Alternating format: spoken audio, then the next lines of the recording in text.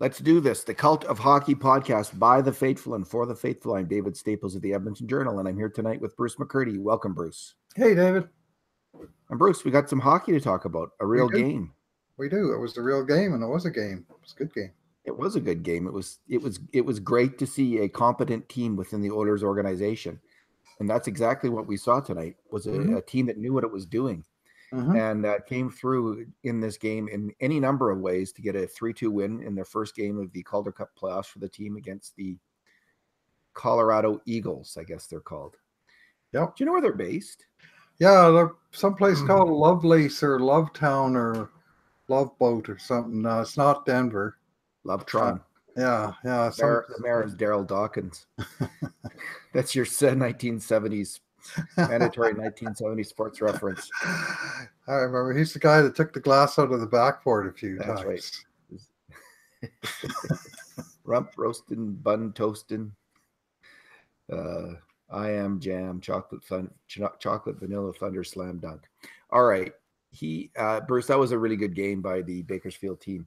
So we're gonna we don't have a lot of numbers to work with, so we usually do the two good things, two bad things, and two numbers podcast about the Oilers. But we're just gonna go through the plus with six things we noticed, three each, and there'll be good and bad things. And uh, so why don't you start? What was one thing that you noticed in in Bakersfield's uh, three two victory? Yeah, well, uh, the dominance of the Bakersfield first line, as correctly identified by the home uh, scorecaster. And these were three guys that we saw in Edmonton at various times throughout the season. In um, uh, Brad Malone, uh, centering a line with uh, Joseph Gambardella and Patrick Russell. And at the NHL level, those guys are just barely hanging on, right? Like they're tweeners. But the difference, it really shows the difference between the leagues that a tweener at the NHL level can be a solid, in fact, close to dominant player at the AHL level. And that line was actually involved in all three goals for the Condors in this game. And they, uh, uh, I particularly like Patrick Russell. You know, I see an NHLer in that guy. I mean, maybe I'm crazy because I know he's a little bit older. No, Bruce, But I think that Man, he's a solid worker bee kind of player. I see him as a bottom sixer. He can kill penalties, which is something the Oilers absolutely desperately need as a forward or two with a clue about how to kill penalties. And he has some talent with the puck. He, he got two assists tonight, where both times where he just got the puck to someone in a good position who was then able to make the, the play to to produce the goal. And just solid you know, he doesn't lose battles. He doesn't get out of position. He's just one of these sort of Joonas Donskoi type of guys that doesn't hurt you. And every once in a while, he finds a way to help you. So he's old for a prospect, as they all are. I mean, and and Malone especially is no longer any kind of prospect at all. I think he's 29. Right. But Yeah. I, I I think the Oilers obviously they're going to need some cheap players, and both Gambardella and Russell should definitely be in the running for uh, fourth line jobs. I thought Gambardella was the best player on the ice. Uh, He's a bulldog, he, eh? he just goes for it in these games, and and and he's getting better and better at the AHL level.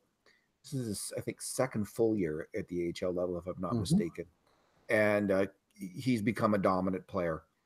Malone, the difference between Malone and the NHL and the AHL Mhm. is startling because he just never carries the puck when he's in the NHL, but he's constantly carrying the puck and Mhm. making plays, and he made a number of nice plays. Of course, the, the nicest play of the, the of them all was Gambardella's feed, cross ice feed to Right. Logan Day on the winning goal. But I agree with you that Russell and Gambardella should be in the running for fourth line jobs um, in the NHL next year. They're just ex- exceptionally solid two way hockey players at this level. They're mhm. cheap. They're and don't go signing another 34, 32 year old, 33 year old washed up NHLer who doesn't have anything to prove and is playing out the string Oilers. Give just count on some of these guys stepping up because they they're perfectly capable of doing so. They've, they've got some players here. First, the the thing the uh, so that was the first thing we noticed. The second thing is going to be, I just think the depth of this whole team is impressive, and um, you know it wasn't just uh, Russell and um, uh, Malone and Gambardella playing strong two way hockey games, but we saw players like Dave Gust, Mitch Mhm. Callahan, um, Luke Esposito, who's a who's a key penalty killer on this team. Yeah. Um, uh, those guys, and then you know, there's the the, the top scoring line of Marody, Right. Benson, and Currie. hmm But even players like Vesey and uh, Poli, there's not uh, he big. There's no real passengers on this team, and all six defensemen. I mean, I, I think Logan Day was the he's the least impressive of the defensemen. But he was the first star, I guess. Based All he on did was score the winning goal. Yeah. yeah he scored the winning goal this is a really this this team um it's a really interesting team it has outstanding depth and we'll see how far it goes far it goes i mean i don't want to i've been i'm way ahead of myself with this team hoping that it has some real success but i don't see any reason why it can't i mean it's going to be hard for evan bouchard to crack this lineup Get in there. Yeah. Well, you know what? They uh, this is as balanced a team as I've had the privilege of watching, like you know, covering as a you know the home team for a long time. Like really, you look at the lineup and you, you got a, kind of everything you want in the lineup. I mean, obviously at at the minor league level and not the NHL level, but there's as you say, no passengers. There's well defined roles for their player. There's a real solid two solid lines in the top six, a young scoring line, a more veteran two way line, and a bunch of worker bees in the bottom six and the defense. You know, there's six guys there, and there's three more in the press box. I, really love that top line of Malone, Gambardella, and Russell. How they set the tone to get back to that group of players. They just they, their hard work really uh, is the signature of this of this Mhm. hockey team. And we're talking about a team that Yeah, probably grinders, eh? all three grinders. it's possible that the single most talented forward and the single most talented defenseman on the roster didn't play today. Yamamoto's hurt, Mm-hmm. and um, Bouchard uh, is going to have a tough time cracking Just the got, he just got into town. Yeah. So, alrighty. So whose turn is it now? I guess it's your turn. What's the what is the, the third thing that we've noticed this game, Bruce? Uh oh boy, I did have a couple of things. Oh yeah, Willie Lagesson. Man, this guy, uh, he's a high event player, and he did have a couple of problems that turned into scoring chances against. Uh, he takes he takes risks, but boy, does he make things happen. And is he ever fun to watch? Like he's greasy. he- you know, he doesn't mind. He doesn't mind uh, getting into the physical stuff. Um, but uh, he also is getting involved in the offensive stuff. You know, and he made a key offensive play on both the first two goals. Assist on the first goal, his point shot was tipped home by Malone, and then he scored the two-one goal off a really nice feed from uh, his partner Caleb Jones. Uh, but he got in deep in the zone, took the pass, and snapped her home. And you know what? In the last two minutes of the game, I think Lagesson was on the bench for about 15 seconds of the last two minutes. Oh, he's the he most played- trusted. He played consecutive shifts. Uh, there was a long delay. There was a stanchion loose or something, and he played before it and again after it, and basically finished out the game. And boy, did he make some nice plays. Like there was one play that really caught my eye and the announcer's eye with about maybe 120 to go. And there was a point shot that got tipped. It was a good play, but I think it was Patrick Russell. Got a stick on the puck, and it kind of popped in the air and it went into the corner. And Lagesson read it and then just turned and dashed for it. And he won the race to it and he just one handed chipped it up the wall and out, out of the zone it went. And it was because he A, read the play, B, reacted to what he read, and then C, executed when he got there. You got to like all those things in a one goal game with 80 seconds to go. That you'd think a, a young, sort of, you know, quasi rookie defenseman like like William Lagesson might be feeling the pressure at that point. No, siree. Lagesson and Jones uh, did have a few bad moments on the ice. They were out there against the top line of Andrew Agozzino, who's kind of a veteran scorer, Logan O'Connor, and who's the third member that oh uh, Joly, Michael Joly. Um, none of them are real top prospects. This this Mhm. Colorado team doesn't really have isn't loaded with top prospects. They have Martin Kaut, who's a eight, I think he's 18 or 19. He was a first pick, so he is one, but he's he's yet to reach his stride. And then they have um, AJ Greer, who's 22 and is probably the, the top player on the team. So like Lagesson and, and Jones had the, the toughest job. I thought that they both did very well, and I was also really impressed. Of the three, Bruce, I think I was most impressed with Ethan Bear. Um, because he's been hurt, but he just stepped right in, and man, he looks slick. He just looks so good at this level right now, moving the puck, making plays with the puck, and he's gotten uh, he seems to be more aggressive and stronger um, defensively. He's really digging in hard and and battling. So I I liked all of all three of those guys. So Bruce, the mm-hmm. fourth thing I noticed that we noticed in the game um, is let me just go to our scoring chances. It was nine to six for scoring chances, right. Brady scoring chances in favor of Bakersfield. Mm-hmm. So um, with uh, 14 12 left left in the game, and Bakersfield was up two to one. Uh, Starrett let in a goal, a terrible goal. Like Absolute it was, stinker. It was a yeah. shot from the corner, and it, and it found its way in. And um, now you'd expect a team to have a letdown at that moment, mm-hmm. to really struggle, and um, did not happen at all. They did not get another grade A scoring chance for the rest of the game. Wow. The uh, Colorado team they weren't able, and and they were just swarmed, honestly, by uh, the Condors. It was a superb defensive effort, and boy, that was encouraging to see that kind of shutdown play where they were they weren't even hanging on. They just were, they were, uh, you know, uh, foot on the throat of mm-hmm. the Eagles. The, the Condors. is where the Condors beat the Eagles and um, mm-hmm. Battle of the Birds, flying high and uh, that was impressive to see. I really uh, thought that that was the that they, they proved something in that first game and uh, huge game, of course, because the first 2 mm-hmm. games are in Colorado. Yeah. And um, yeah, the road the last three in Bakersfield. The so. road advantage was, you know, starting on the road sucked, but now they got the best of both worlds. They got a road win under their belt. Worst they can do is go home with a split and then they have the last three games of the series potentially on their home ice. So Colorado's really up against it already, having What's lost the um, fifth thing, Bruce. Oh, five. Yeah, well, uh, kind of riffing off what you just said, but more specifically, how how uh, the Condors responded to that two-two goal.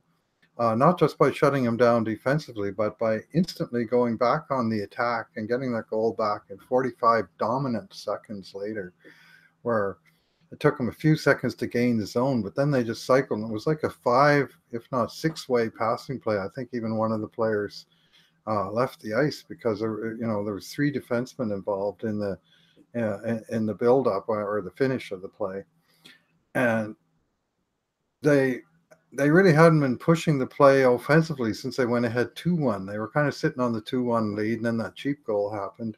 And it's just sort of, oh, we better get that one back and uh, bam, 45 seconds. And once I got the one goal back lead, one goal lead back the third time, that was it. They were able to hold it all the way to the end.